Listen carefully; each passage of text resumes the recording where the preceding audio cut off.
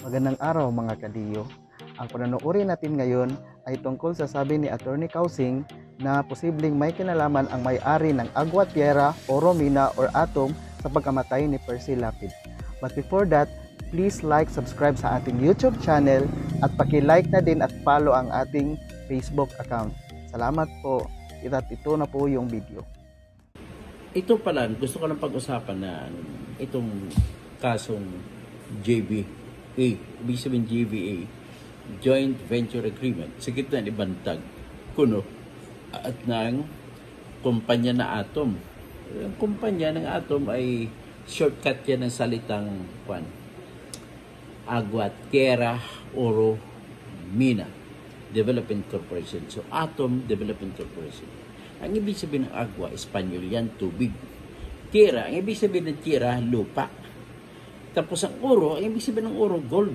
Ang ibig sabihin, mina, mine. So, ibig sabihin, itong kumpanya ito, pag sa unang tingin mo pa lang, ay nagmimina ng tubig, ng lupa, at aba, bulawan, ay bulawan na ginto. Tapos, nagtataka ka, nagtataka ako.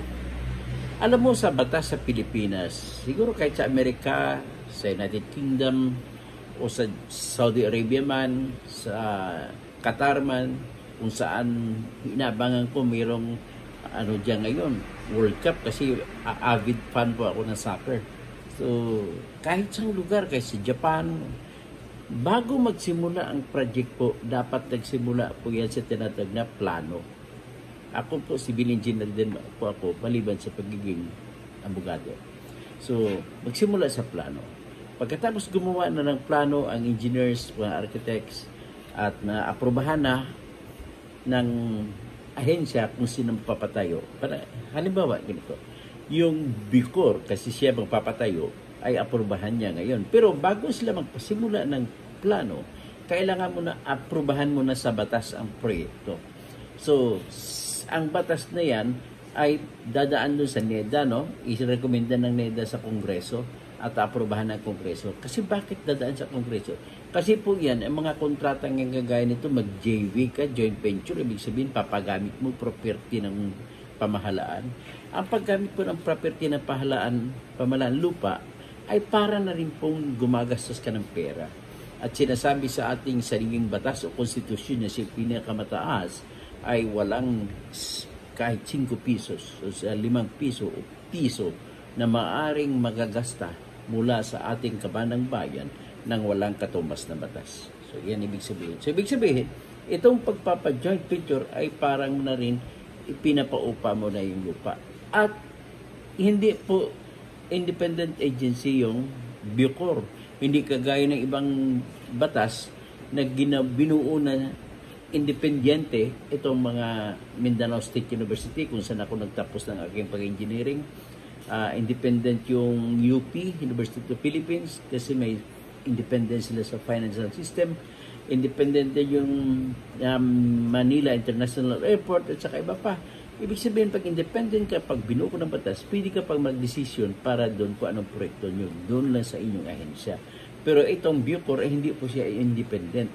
Pangalawa po, ang property po ng ating ah, bansa ay dalawang klase po. Huwag, i- hindi na natin isama yung public for public use kasi ano yan, public land. Yung ibig sabihin na property na pwedeng i-dispatch sa, pwedeng ibenta ng pamahalaan, kahit anong pamahalaan. Yung lupa sa Bukor, ah, maaring may benta. Pero, tinatawag ni Buying na patrimonial property. Ibig sabihin patrimonial, patri, father. Ibig sabihin, may kinalaman yun sa ating bansa. Na tinitingnan, parang isa yan na ano, sentimental value. Merong sentimental value ang isang bagay na kahit maliit lang ay napakamahal sapagkat may nakadikit sa puso at damdamin. So ito ngayon kung bakit kasi dyan po sa Muntinlupa, dyan po inilibing at pinatay at binaril si Yamashita. Yung natalo sila ni ng grupo ng Pilipino at ni MacArthur, ni-surrender sila, ay nilitis po sa isang kaso sa tribunal, military tribunal dyan si Admiral Yamashita. So ngayon, ah, historical siya. Nilusob din, hinawakan din ng mga Amerikano noon yan, ginawang ah, kulungan din sa panahon ng Amerikano. Kaya nga Bilibid ang tawag. Actually, original na Bilibid nandito sa Quiapo Central. Kaya Bilibid, may Bilibid Street dyan or di ka Bilibid Viejo. Ibig sabihin Viejo, Espanyol ng old. So, old Bilibid. So, doon dinalang Bilibid sa Muntinlupa. So, ngayon, ang sabihin pagtapos kasi ng gera na 1945 o 46, liberation na ng Pilipinas mula sa kamay ng mga Hapon, ay doon nilite si ah, ano si si Yamashita. Actually, marami ding nilitis diyan, pati yung lolo ni Marujas na si Manuel Rojas ay nilitis din na pag, sa pagtatraidor inakusan siya sa pagtatraidor sa inang bayan noong panahon ng Hapon. At marami din ba pero na-acquit din siya. Ibig sabihin, hindi na patunayan na talagang nag-traidor sa inang bayan para dun sa gera ng Pilipinas laban sa Hapon. So balik tayo dito sa GBA. Yung GBA na yan, nagsasabi na i-develop ng Atom Construction Corporation itong lugar na 200 ah, ilang hektar ito? 237 o 270 plus. Ah, 274 hectares na lupa. Gawin na parang Ayala, maraming mga mall. Isipin mo ng proyekto parang ganon din ginawa dun sa Eton, dun sa may Santa Rosa. So, ganun ang gagawin nila, ibebenta nila. Sabi nila, hindi naman nila ibebenta pa lang lupa, kundi ang lahat ng lupa doon na gagamitin, ang proposisyon ng atom ay ipapaupas sa mga kung sino mag-relocate doon. So, mga locators ang tawag dyan. Kung sa Su- Subic ba. So, 375 hectares, no? Times 10,000. Okay. Ang sagot po ay 3,750,000 square meters ang Muntinlupa na gustong i-JB ni Bantag. So, kung tag 10,000 din ang halimbawa ang per square meter, o di pero hindi ako maniwala 10,000, 20,000 sabihin natin times 20,000 pesos per square meter. Magkano ang halaga? Naku, 75 billion pesos. Oh, 75 billion pesos ang ang halaga. Ibig sabihin, ah, pero ang narinig ko is ah, more than.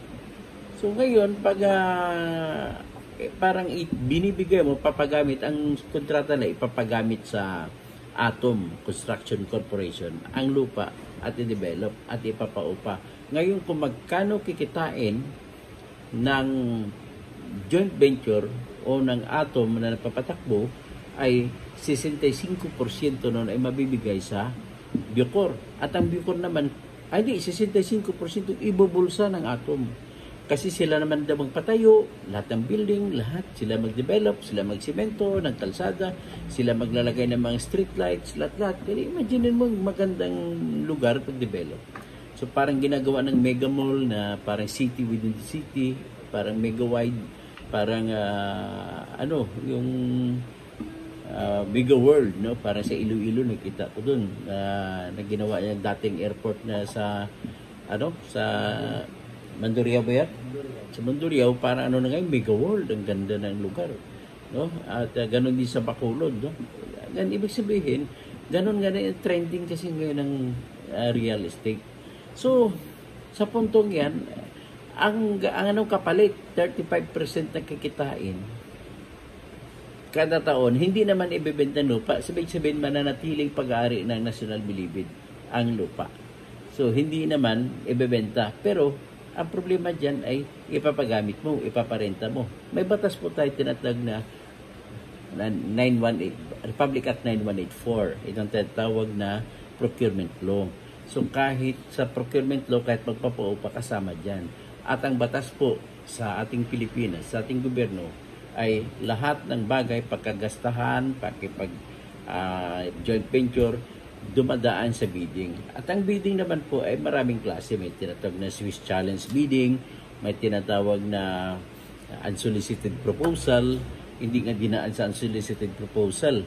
Ang nagtataka lang talaga ako, basahin ko yung balita ng ano, para hindi tayo bias, ha? yung balita ng GMA. Sabi niya, kasi ang balita ng GMA, ah, itong si Virgilio Bote na presidente ng Aguatiera Urumina Development Corporation ay sinabi nito sa GMA na ah, nag-withdraw na. Ibig sabihin, umalis na sila, ayaw na nila sa kontrata sa joint venture agreement uh, nung noong ano Tuesday, Huwebes. Kasi daw uh, naguguluhan na sila, sabi ni Virgilio Bote. Ang kopya daw ng GB ng GBA ay nakita ng GMA News. Ibig sabihin GMA yung TV ha.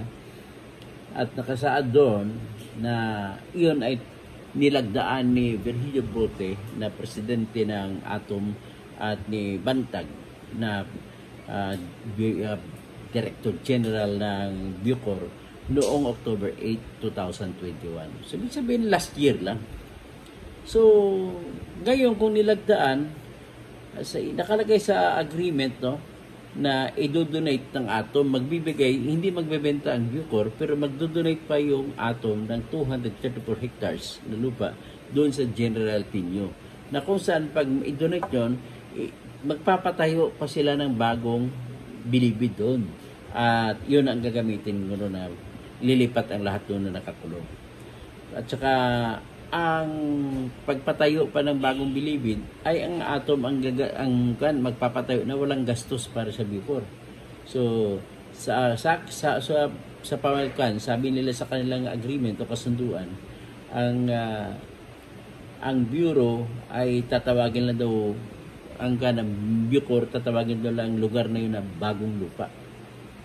Hmm, Sabi niya, whereas the first party has decided to transfer the PDLs from NBP and CIW to Barangay Pias General Tinyo, Nueva Ecija, which will be called Bagong Lupa, consistent with its decongestion program and based on its mandate of safekeeping and reformation of PDLs. Yan ang sinabi ng kontrata.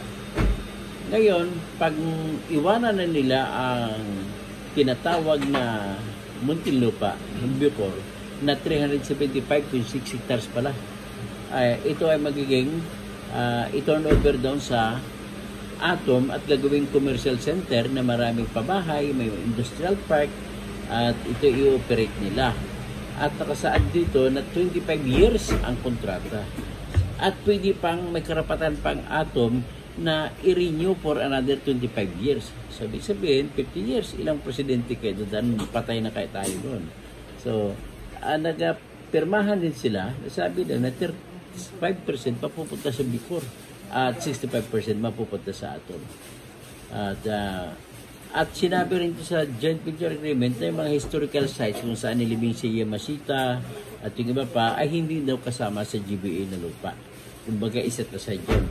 So, sabi nga daw nila, may kaumpisa pa lang nila, mayroon daw na Chinese na sasabi na uupa siya at ah, sa halaga na 20, 20 hectares daw ang kukunin, upahan sa halaga na 6 million a month. Ba, malaki, hindi ko alam paano gagawin. Gagawin bang pogo? Hindi ko alam. Sayang maganda pa sana ang gusto ni General Bantag na malipat talaga yung Bucor. So, ibig sabihin, ang lumalabas dito, wala pang approval ng NEDA, National Economic Development Authority. Lahat ng klaseng proyekto dumadaan po sa NEDA. Kasi ang NEDA, ang opisina na nagsasabi kung kikita ba ang proyekto o hindi. At kung aprubahan ng NEDA, dadak aprubahan pa akit pa sa lahat ng mga departamento yan at hindi hindi pa maari magagawa yan kung hindi, walang katumbas na batas. Kasi pag ipinatuloy yan, ako yung numero unong magpapile ng petition sa Supreme Court at ipa utu, ipa ususan ko Supreme Court na isang tabi yung kontrata na yun kasi bawal sa batas, labag sa batas. Ha? So, yan lang po isasabi ko. Ngayon, ang importante doon, kung bakit tinakil ko ito, may kaugnayan ba itong si Virgilio Bote sa pagpatay kay Kaper Silapid? Pwede kong sagot ko dyan, pwede. Pero kulang pa tayo ng ebidensya. Bakit? Ano pang ebidensya kailangan natin? Alamin natin kung ano ba talaga. Kasi si Bantag, wala na kami problema, mga ebidensya kompleto na. So, maaring may iba pang tao kasabot ni Bantag na hindi lang nakikita na nagpapatay kay kay Persilapid. Kasi, sinasabi ko, tinitira ni Persilapid mga namamatay na mga ah, nakakulong doon at mga pagkukunwaring patay na si JB Sebastian tsaka si Amin Buratong, nababanggit niya. So, mahahagip, madidiskubrihan yung lahat ng mga kabut kabulukan dyan. So, madidiskubrihan din ang GBA at ang GBA, halabang sabi ko, 75 hanggang 150 billion pesos. Ang apektado kung 10% lang ibibigay kabantag dyan. So, sisiw. Ano? Sisiw ang 17.5 billion pesos. Di ba? Kasi si 10% is just standard na mga SOP na binibigay. So, ang alam ko dyan, balita ko, nakapag-advance na pala yung atom. So, ibig sabihin, pag masisira yung proyekto, mawawala yung kapital ng atom. Ilang milyon kaya ang binigay niya kay Bantag? Eh, si Bantag na nakakaalam. At tataka ko, napaka ang lakas naman ng atom. Pumirma sa kontrata, nag-umpisa pa, nag-excavate pa, naghukay pa, gumawa pa ng tunnel. Wala pa nga approval. Bilip naman ako dyan. Eh, siyempre, bakit ka maghukay kung hindi maprubahan? Anong mangyayari sa kontrata mo? Anong mangyayari sa perang ginastos mo? Eh, hindi mo mababawi, di ba? Pero yan pala na-discover ko, may nag-text sa akin, isa ring mga subscriber ko, na si Virgilio Bote, siya po ay kumita sa panahon ni Duterte. Kasi siya po ay contractor ng tinatawag na Cavitex. May, pwede bang ah, papasok dyan kung ang mga si Bote kasama sa mastermind? Hindi natin alam. Kasi matandaan ko si Bote, yung isang may mayor doon sa General Tino. Kung bakit sa General Tino ang inaklupa. Kasi may- mayor siya ng General Tino dati. At tumakbo sa gobernador nakaraan sa Nueva Ecija talo sa kay Gobernador Umali. At isa pa, kung bakit ang sobrang dikit ito kay Presidente Digong Duterte. Kasi siya yung presidente ng PDP laban dito sa Nueva Ecija. So, bahala na muna kayo. Pag-isipan mo natin, hindi tayo magsasabi na may kinalaman si Bote. Pero ngayon, baka siyempre mainit na yung isi ang ah, awayan ang ano ang isip kay Persilapid, bumitaw na siya. Para sa inyo, may kinalaman ba talaga si Virgilio Bote sa pagkamatay ni Percy Lapid? O teorya lamang ito ni Attorney Kausing? Mag-comment down below sa inyong opinion ukol dito. Maraming salamat po.